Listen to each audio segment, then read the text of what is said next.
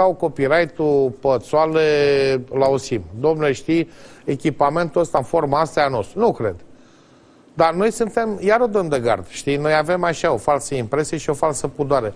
Adică, uh, domnule, haina asta e numai noastră. Bă, în momentul în care te îmbraci în general și joci într-un film, eu nu cred că vine armata să zică, bă, nene, ce dracu faci?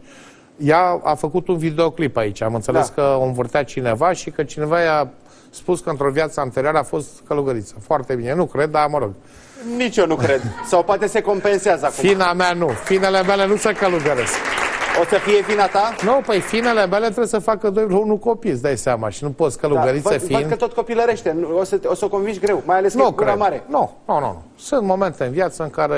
Da, o să fie fina ta? Da, bănuiesc că da, dacă mă cere e ca la nuntă. Păi dar nu te-a cerut așa... Ba da, dar atunci s-a întâmplat, acum așteptăm. Da, nu știu, citeam nu, dar că s-a depășim, pus din nou momentul, depășim momentul cu echipamentul. De exemplu, Așa. Garcea era îmbrăcat în milițian. Da. Bă, n-a sărit nimeni, a vreun general, domnule, ne denigrează, cu totul că era sindicatul polițiștilor care a zis, domnule, e neregulă Constituția nu ne face de bășcărie, că lumea le zicea deja Garcea pe păi stradă, da, știi? da, auzeai taximetrii, Bun, dar n-am era, auzit... dar Garcea nu știu unde. Da, exact, exact. Bun, acum ne-a trecut și chestia asta, perioada asta. Mulți dintre polițiști și râdau la sketchurile cu, cu Garcea, dar asta nu însemna că a denigrat uniforma. Domnule, a jucat într-o scenetă. Înțelegi? Și acum fata asta că s-a îmbrăcat odată, e blasfemie, eu zic soar de părul. Faptul că ea este puțin mai gureșă, a făcut, i-a făcut pe mulți... Bun, uite, am Zapelea, nu, uh, Toma Caragiu juca pe răspopitul în da. toate filmele. N-am văzut să ia poziție biserică, să spună, interziceți filmul ăsta să îmbrăca în popă. Și ce dacă să îmbrăca în popă? Sau uh, le-am dat uh, tomberane și echipament la niște unii, dar au făcut niște scenete cu gunere. Acum trebuia să fac uh, miti, bă, uniforma gunerului, ați pângărit-o voi nenorociților. Tomberonul, acest simbol Da, uite, tolea, bă, tolea, bă, te-ai dat la tomberon, a, blasfemie, bă. De, eu cred că, cred că le încurcăm, știi? Cred că nu mai avem simțul umorului și economia asta de piață ne la mințile. Da. Adică nu e voie să îmbrace Oana Zăvoranu în uh, călugăriță, dar e voie patriarhia să-ți facă televiziune. Da? Adică aia e voia, aia numai cu satana, cu ochiul dracului, asta e cu dracul. Bă, hai bă, lasă-le așa. Lasă-i și pe aia să aibă două Dumnezeu televiziuni. TV și există Dracu TV în Parlament, că înțeleg că faceți Da, e de toate, da. da. Da, uh, dacă vreau să facă televiziune, nu trebuie să te lase pe tine, că măcar Nu, dar am tăiat bugetul, nu televiziune există. Vreau să fac o extindere de echipamente. Studio, există studio, există ah. tot. Vreau să fac o extindere de echipamente pentru eventualitatea în care să aproba legea să transmitem uh, în eter și pe satelit. Că programul e variat, există și desene animate. Da, și adică, l-am făcut da. o propunere, așa handicapat cum sunt. Bă, dați voi legea că vă dau o televiziune gratis. Donație dați de la handicapatul. Și atunci au tăiat-o de pe listă, că erau și echipamente acolo care nu erau necesare. A, se dorea, se dorea o seră de flori, că s-a cumpărat la, la Summit o grămadă de flori cu care s-a ornat uh, când au venit în alții prelați ai parohilor Putinii, multinaționale, da. da. Și am zis, domnule, acum eu înțeleg că s-a cumpărat niște flori, dar nu înseamnă că trebuie să facem seră, că nu au unde să le depoziteze în alte perioade din an. Într-adevăr, sunt probleme. Și zis, bă, donați, dacă nu aveți ce face, donați la grădinițe, la crești, la școli. Donatul nu e interzis, adică că donăm și gata. Cu ocazia asta mai cheltuiesc niște bani pe seara aia. Uh, păi da, dar trebuia, era, băi, și în, acolo în Parlamentul ăla ca la voi, știi, să faci un necesar. Da. Și când îți vine cu un necesar și te lămurește cineva de acolo că trebuie seră, tu când le spui că trebuie la valiere, că nu merge, că e o problemă, nu-ți cumpără la valiere? Da, da. Și dacă nu-ți cumpără, nu-ți iei tu până la urmă, te enervezi. Până și la urmă. hai să ne enervăm să le dăm. Hai să ne enervăm să le donăm. Și s-a rezolvat cu bugetul, pentru că era, uh, sunt cheltuieli, de exemplu, care lumea nu le știe. Sunt cheltuieli, chiar cheltuieli, care chiar trebuie acolo. Dar eu nu cred că e necesar acum să se curețe fațada. Nu acum. Nu, bă, mai lăsați de 20 de ani. Dar, dar ce e neagră? Nu, dar trebuie întreținută, e o substanță specială, e o firmă specială. A, șeful, păi e... treabă. Nu Bine, alăzi zi lăsați. Și până la urmă s-a rezolvat problema, înțelegi? S-a rezolvat și e în regulă.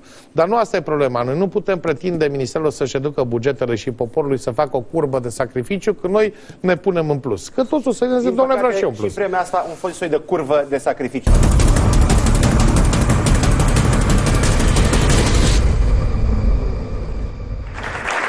Vremuri grele, dar continuăm ultima emisiune de pe 2009 cu Silviu Prigoană. Silviu Prigoană are de gând să treacă... Mă, stai puțin, exprimare incorrectă. Ci că pe ultima e... continuăm ultima emisiune pe 2009. Tu o să mai emisiuni și mâine. A, cu Silviu Prigon am spus. Mai ai spus. Ba da, la sfârșit. Mai ai spus. Punem o dată caseta. Mai punem încă o dată caseta. Așadar, Silviu Prigoană nu mai merge la alte emisiuni TV pentru că are foarte multă treabă în Parlament pentru dumneavoastră. Așadar, Nu numai este în Parlament, la grupul parlamentar, la uh, birou acolo unde am uh, În Parlament, îi zicem generic, așa, nu, nu? la mine acolo, în colegiu. Păi Da, 14.000 pentru de cetățeni Parlament. au pus ștampila și acum trebuie să stau să ascult. Tu Trebuie vrei să să ieși cu butelia. președinte?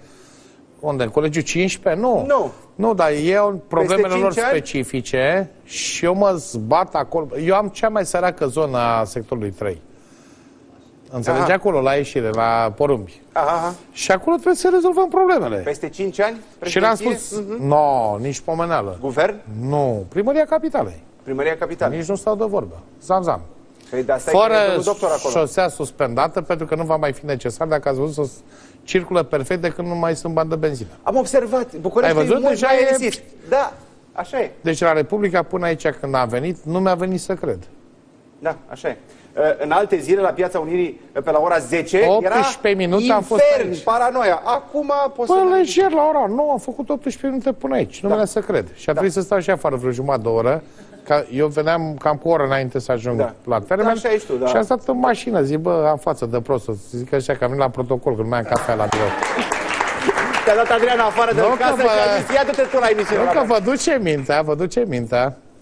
Sunteți, imediat sunteți foarte vigilenți. Pe locul 3. A, nu sunt tot la top? Mai, încă 3 locuri. Hai Pa, înapoi pa. cu eleva, hai cu eleva aia. Cu... Nu e cu eleva, este cu altă elevă. Uh, Dacă tati zice să nu mai fie fata cu un băiat că băiatul e greșit, e bine sau nu e bine? Nu cred, dar nu, nu, părinții, nu e treaba părinților. Aici e chestie, ți-am explicat. Presa zice că Elena Băsescu pare a fi despățită de tată de, cu, în relația cu tânărul Joe, care, știi, e un băiat special. Are o mașină Bentley la ușa unui apartament confort 2 din drumul taberei. Uh, nu cred că președintele României mo- al, în actualele momente mai are timp să vorbesc la telefon cu fica sa. Nu să știe ce face E, fica seara sa. totuși se mai gândește și la Oricât ar familie. fi de seară, îmi par rău. Astăzi sunt vremuri Mi-ai grele în spus tu că România. copiii sunt cea mai importantă investiție? Absolut, cea mai Păi și importantă atunci lasă investiție. investiția de buruiene, așa? Nu, dar după 18 ani deja e cam complicat să mai stai de vorbă cu investiția. Păi dacă investiția la un moment dat se duce către un drum greșit, Da, nu cred că în e loc drum să fac greșit. car- caroserii de Nu- mașini, face prezervative? Nu există drum greșit. nu există drum greșit?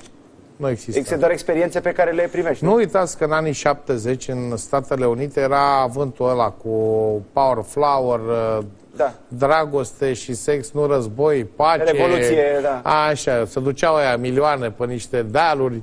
Woodstock, Drighi, cântăm. drighi, hâț în venă, toată Da. lumea în nebunie Da, mare. Hendrix, și Severa. atunci exista o generație care astăzi e spre 80-90 de ani și spunea, domnule, ce o să facem noi? Ne desfințăm ca națiune, societate, uite nenorociția. Uite nenorociția aia, astăzi conduc America. Toți și Clinton a zis că a mai tras și el o țigară îmbunătățită, că aveau aia dosarele, știi? Da. Și Bush a recunoscut că a încercat și el o leacă și Obama a tras o țigară că se întâmplă. Toți trăgând pe venă, că și era modelul, știi? Da. Dar asta nu înseamnă că dacă într-un moment al vieții ai avut o rătăcire, înseamnă că e rătăcire definitivă. Nu. Deci fata noastră este material bun, dar s-a lăsat dusă de Nu cred câte că un s-a zmeu lăsat- de ăsta. Nu Și te cred. trage zmeu într-o Eu parte. cred că e mult prea deșteaptă și cred că îl coordonează. Adică fata chiar e atât de deșteaptă încât să joacă cu ei, știi? Da? Și oricum bărbații să mărită. Bă, așa e, da. E o teorie. Poți să mai spui o dată pe post că lumea nu o să înțeleagă. Păi femeia alege, nu bărbatul. Bărbatul latră la toate cățările și la una îi se face milă. Bine, mă, știi? Dar noi avem așa impresii că suntem zmei, că l-am cucerit, că, bă, dracu. A, Joe ăsta micu e și el. Am ușină pe Da, acolo. el a mușină și a zis, bine, bă. Adică Hai că sunt... bărbatul să mărită. Asta e, îmi pare rău. Femeile sunt soară. Femeile aleg, nu bărbații. Da. Bărbații latră pe la toate, încearcă, fiecare în portofoliu cât 100 de cerșetorii pe la uși. Dar numai un acceptat, știi? Așa e. Păi Problema e te dacă duci și le recunoaște cer sau nu. pe toate, că așa se întâmplă. Îți faci planuri și îți dă cu flit. Bă, flit. Asta e, s-a întâmplat. Bineînțeles că nu venim la televizor, imediat să spunem, astăzi m-am dus să cer eu de nevastă, pune mai cu flit. Și știi că a fost un caz în direct la televiziune când uh, un bărbat a cerut-o pe una, cu Ninel s-a pus în genunchi și te cer, uh, Ricky Mickey aia, de nu știu unde, cântă muzica indiană. Așa, da. La Teo în emisiune s-a dus să-i facă o surpriză. Da, da, da. da. Și fata a zis, uh, nu sunt de acord să mă căsătoresc cu tine.